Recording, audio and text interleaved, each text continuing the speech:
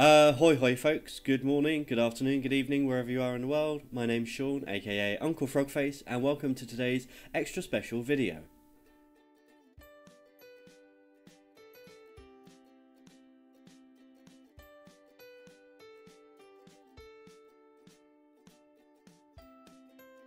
That's right, so we're doing an extra special video today, and this is a video for my niece Lia. Uh, now it's Lia's birthday today, and Lia is the whole reason I'm even called Uncle Frogface. So because the world being the way it is at the moment, uh, Andrew and I haven't been able to visit Lia or give her her present. So, Lia, I know you're watching. Um, we are going to create something for you, and when Uncle Andrew and I can come and see you very soon, hopefully we'll be able to give you this present. So, for everyone else, without further ado, I'm going to switch cameras, roll back a few days to when I started this project, and uh, let's get started. So today we're going to be using this uh, wooden chest I got from the works. You might remember this from the uh, cheap art supply haul video from a, a few weeks ago. Um, and we're going to be using a few other items. So I've got my tools, uh, I've got an egg box and some toothpicks, um, some small gems and sewing things, uh, even that air dry clay as well from the works. So first things first, let's start with the chest. So this is not going to make a lot of sense right now. This is something that will uh, become apparent later, but I promise, I promise this is worth it. So what we're doing here is just taking a uh, craft knife and I'm scoring in uh, kind of where the edges of the planks that make up this chest would be, giving a little bit more depth to it. Um, and just making it look a bit more like an old chest. And then I'm coming in with, so this is actually an old surgical tool, it's a, a bone chisel. Uh, I'm coming in and just scraping some grain texture into the wood. Now in this kind of balsa wood that the chest is made out of, you know, it doesn't make too much difference. But when we come back to this later, this is really going to pop. So I'm really, really excited about this. And need to do the sides as well. Always remember the sides. Lovely. Okay, so the egg box. Now the reason I use egg boxes in crafting is because they're quite good for structural stuff. Uh, you know, they're quite a stiff card. Um, obviously, they have to be for holding eggs, but they also have a really nice texture. So on the outside, it's smooth. On the inside, they're quite rough. So what I'm using it for here is kind of uh, to replicate the hammered metal banding that old uh, ancient chests have. I'm just using a bit of uh, CA glue, using a toothpick to, to spread the glue around, and then just sticking them on in places I think a chest would have these bits of banding that keep all of the wood together.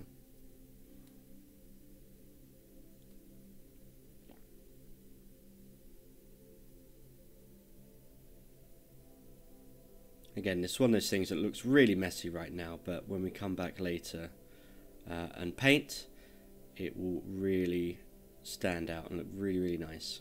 So that's all of the pieces glued down, uh, skipping ahead a little bit. I had these D-rings as well, so uh, they were from my sewing box. I use a little bit more egg, egg box material and some CA glue and stick them on the side to make these uh, cute little handles.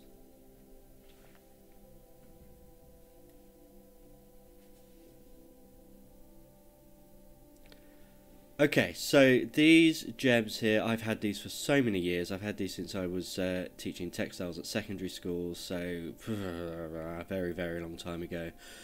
Uh, these are actually iron-on uh, gems, so you put them out in a, whatever pattern you want on your fabric, uh, iron over the top of them, and the glue on the back melts and sticks to the fabric underneath. We're not going to be ironing them on today, we're just going to be using a bit of CA glue and I'm actually using a kneaded eraser here. It's nice and sticky, you can get it into a point. I'm using that to pick up the gems and place them down and then uh, using another toothpick to get them off of the uh, sticky eraser so that they uh, stick in place. And you can do this with Blu Tack as well or anything that's sticky and kneadable.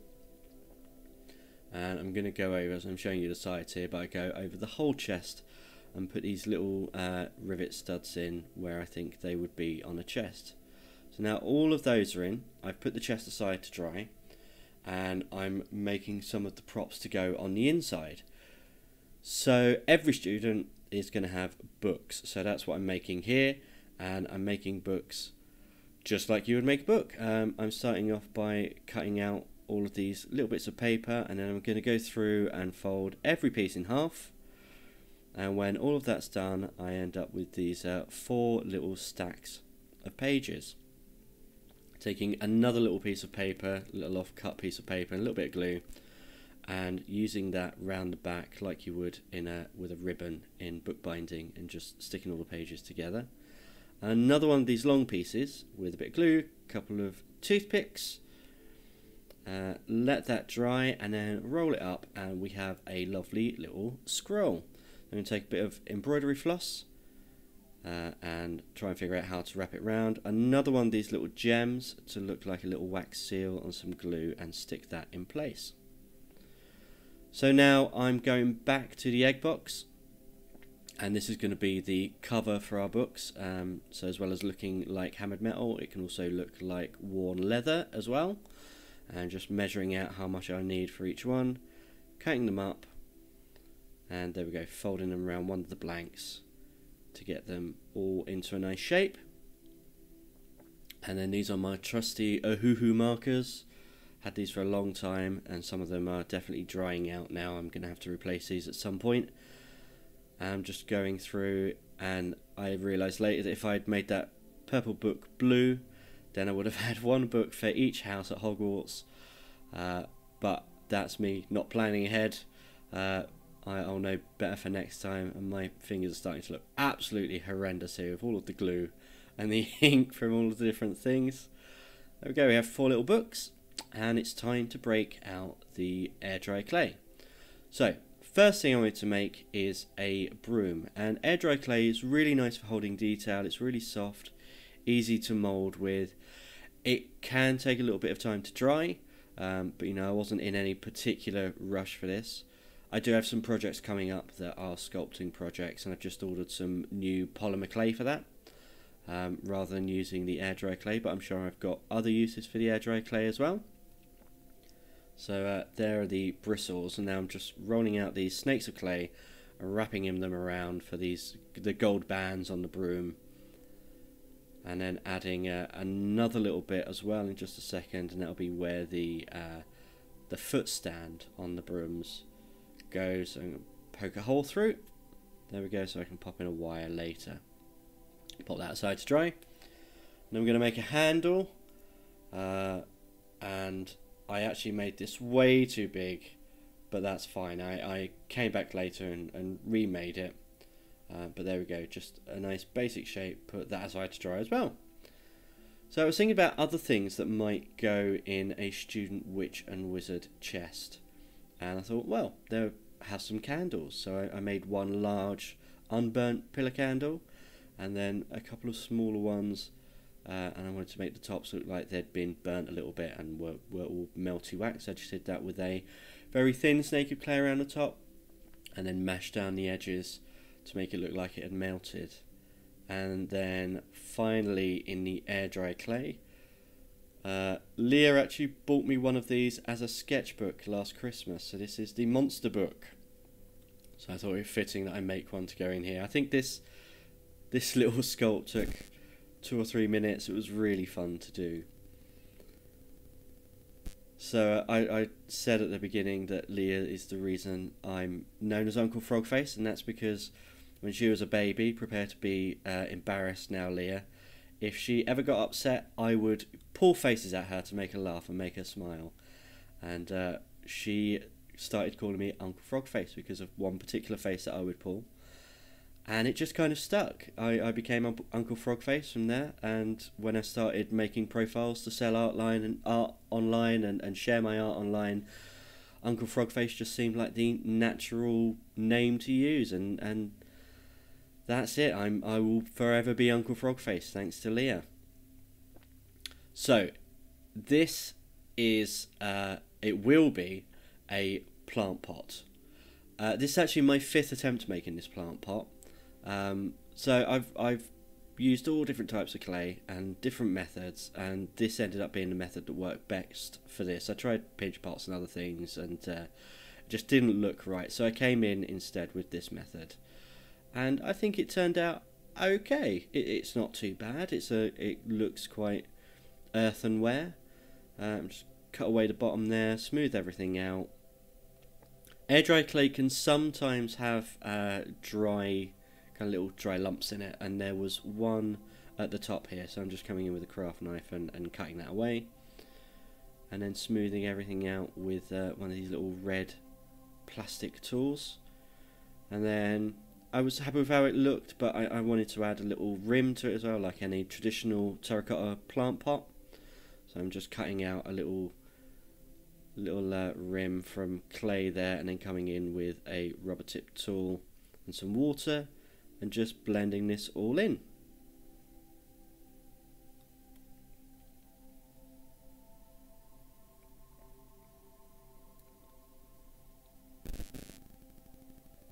Lovely, and then just, just smoothing everything out and pop that aside. So we have a plant pot, and uh, being the world of Harry Potter and Hogwarts, we need something to go in the plant pot. So what better than a mandrake? Those ugly little root babies that we all love so much. Um, and you know me, I love the creepy and the cute, so I couldn't resist making one of these little critters.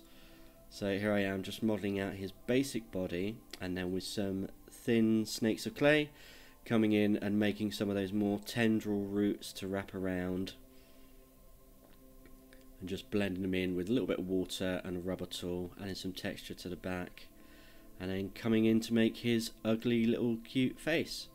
So I start by opening up a mouth checking size on the pot all the time to make sure he's going to fit uh, add a lower jaw and then a, an eyebrow ridge to make those beady little eye holes. Now he is a root, he is a plant, so need some branches at the top. I know these first two look like horns, uh, but I add a couple more and it definitely makes it look a little bit more like a plant. Uh, but we'll be working on him a little bit later. There we go. Okay, so this is the air dry clay all dry. I went ahead and made a few other things from Milliput as well. So this is a cauldron made with a ping pong ball and some Milliput, a little feather for a quill, a wand which is a toothpick and Milliput, and a wand box, and that's our chest. So we're down to painting now. So all of these small items, I'm just going to go over and give them all a coat of their, their kind of base colour just so that they're not all white and that, that Milliput green. Just going to get them all their initial base colour and this is just standard student grade acrylic paint and some water to water it down. Nothing fancy, no fancy mediums or anything. Uh, we like to keep it nice and basic for these uh, for these little crafts that we do so that anyone can join in at home. There we go, nice brown for the root. A uh, little bit of a darker brown for our monster manual. Uh, getting all of those nooks and crannies. And then I just go through and I paint everything in their base colours. And when that's done I turn to the chest. And again this is just standard black acrylic paint really watered down so it saturates the piece. I had to come back later because the gems are plastic with a bit of thicker acrylic paint just to go over those. And once that's all done I put it aside I'm going to pick up some of the details. So I'm going over the Mandrake and the book with a black wash and then wiping away all of the excess and that just sits in some of the lower details and had a bit of depth. And then with the bristles on the broom I'm coming in with a, a light brown, rubbing some off and then coming in with an even lighter brown and rubbing some of that off just to give some texture. And then this old silver acrylic paint which didn't want to come out, I just rub onto the cauldron and then knock back with a tissue to give that cast iron look. So this, I thought I had some gold paint and I couldn't find it anywhere. Uh, so I used this gold paint pen from uni. Um, just came in, had to pump it a few times to get the, the paint flowing.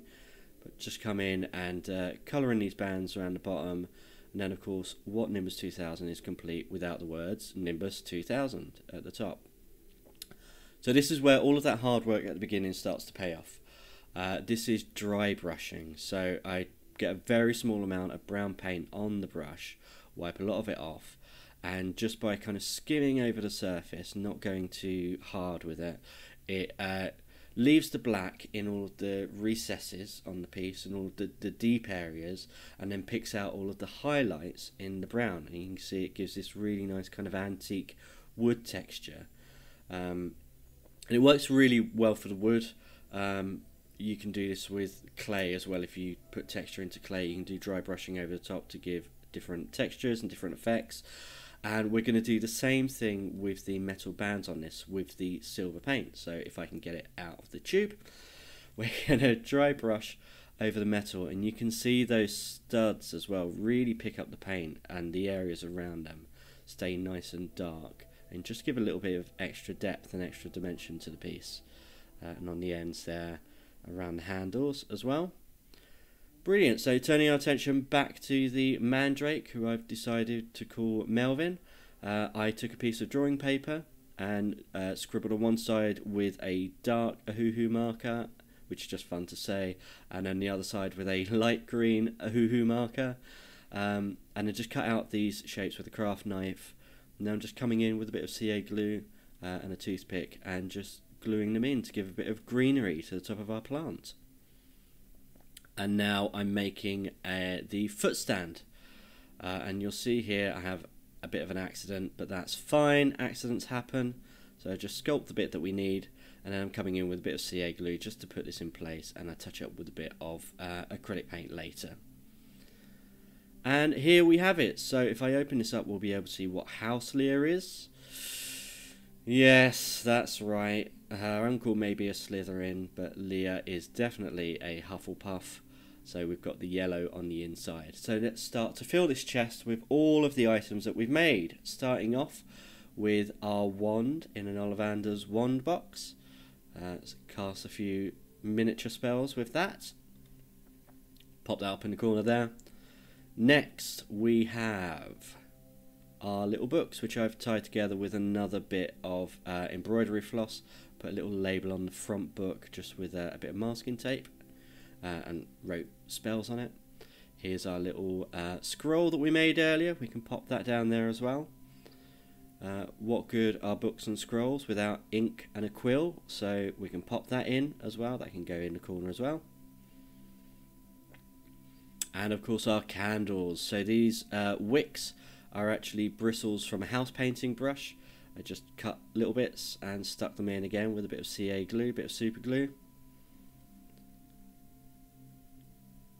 and here is our monster book a nice little quick sculpt I'm really pleased with how this turned out uh, I really like that uh, let's just move these candles out the way because we've got one more item to go in the chest and it needs a little bit of room. So we'll pop it in the middle. And this is our cauldron. Who would have thought ping pong ball and a bit of uh, milliput would make such a nice little cauldron? So let's put that aside. We've got two more items outside of the chest. So first up, we have our Nimbus 2000. And again, I'm really pleased with how this came out. It does stand by itself. You can see here, stands quite nicely. Let's just turn that around. There. Okay. And finally, our little mandrake. Oh, look at it. It's cute. I might have to make one of these for myself. So, Lia, this is all for you uh, for when you start at Hogwarts. I really hope you enjoy it when we uh, when we finally bring this round to you. I hope everyone's enjoyed watching this as well. And until next time, everyone, I wish you all the best and goodbye.